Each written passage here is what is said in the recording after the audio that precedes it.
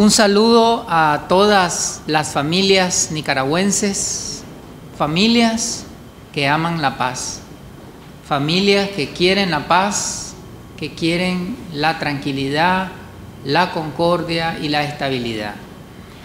Este es el informe número 2 sobre el avance en las instalaciones y funcionamiento de las comisiones de reconciliación, justicia y paz. Las comisiones de reconciliación, justicia y paz están funcionando a diferentes niveles, a nivel nacional, departamental, municipal y comunitario.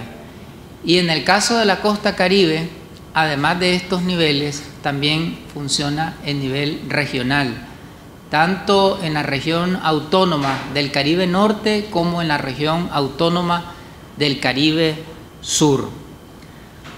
Al día de ayer se habían instalado 1.594 comisiones de reconciliación, justicia y paz a nivel nacional. Algunas de estas comisiones tienen nivel departamental, otras tienen nivel municipal y otras a nivel comunitario.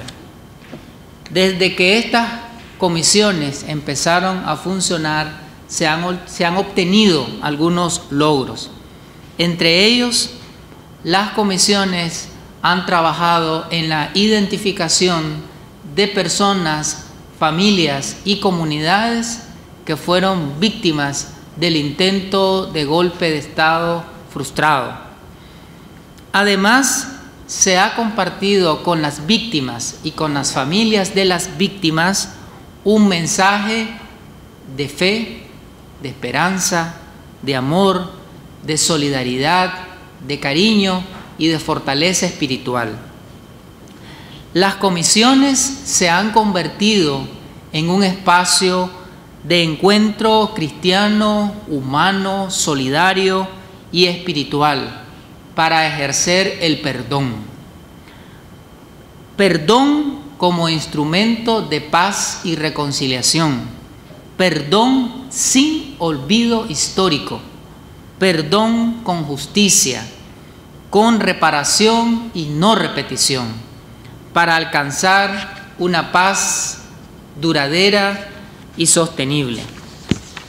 Las comisiones de reconciliación, justicia y paz han desarrollado reuniones municipales y comunitarias de trabajo para estudiar, analizar y lograr una apropiación del plan de trabajo del GRUM para consolidar estabilidad y paz en Nicaragua. También han sido objetos de estudio, análisis y apropiación el plan y la ley de atención integral a las víctimas y la ley de amnistía, como las decisiones del Estado de Nicaragua para fortalecer la paz, el entendimiento y el buen vivir en armonía de las familias y las comunidades.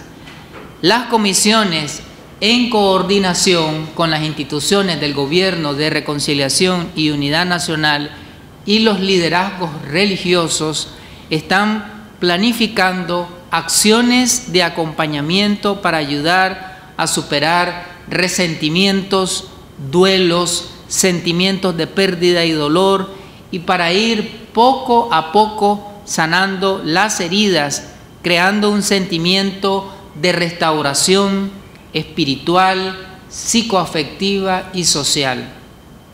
Los liderazgos religiosos, los pastores y pastoras que han estado participando en este proceso de sanación espiritual y social es a nivel local, a nivel comunitario, a nivel municipal. Las comisiones están impulsando acciones comunitarias que nos están ayudando a fortalecer la cultura de la fraternidad cristiana, el encuentro y el entendimiento humano y el sentido de familia y la comunidad. Las comisiones han propiciado el involucramiento en las comunidades de muchos liderazgos sociales, religiosos, educativos y culturales que colaboran con el fortalecimiento de una cultura de paz, de reconciliación y justicia.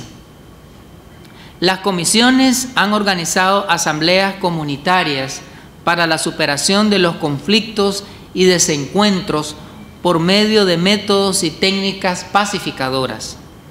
Las comisiones han implementado encuentros municipales y comunitarios donde se reafirman los valores cristianos, prácticas solidarias e ideales socialistas de fraternidad, reconciliación, convivencia pacífica, tolerancia, inclusión, buen vivir y unidad familiar y comunitaria.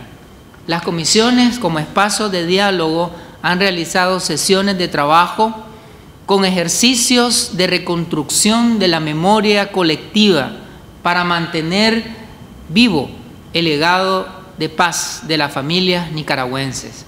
Se han planificado además seminarios y talleres con el apoyo de las delegaciones del Ministerio de la Familia, el Ministerio de Educación y el Ministerio de Salud sobre metodologías para la superación de los conflictos y los desencuentros humanos, como la superación del duelo, vencimiento de traumas, recuperación emocional, métodos alternos a la solución de conflictos, entre otros, apropiación e interiorización de los significados de paz duradera, justicia, con el compromiso de reparación y no repetición. Queremos reafirmar quiénes son los que participan en estas comisiones. Durante su instalación y funcionamiento participan de forma activa y protagónica educadores, líderes de la salud, líderes sociales, culturales y comunitarios y como ya decíamos antes, líderes religiosos, delegados de la palabra, diáconos, diaconisas, pastores y pastoras, entre otros. Todos participan con sentido fraternal de solidaridad, armonía y convivencia. Las comisiones funcionan gracias al compromiso espiritual y social de hombres y mujeres de buen corazón que aman la paz, la reconciliación, la unidad familiar y comunitaria.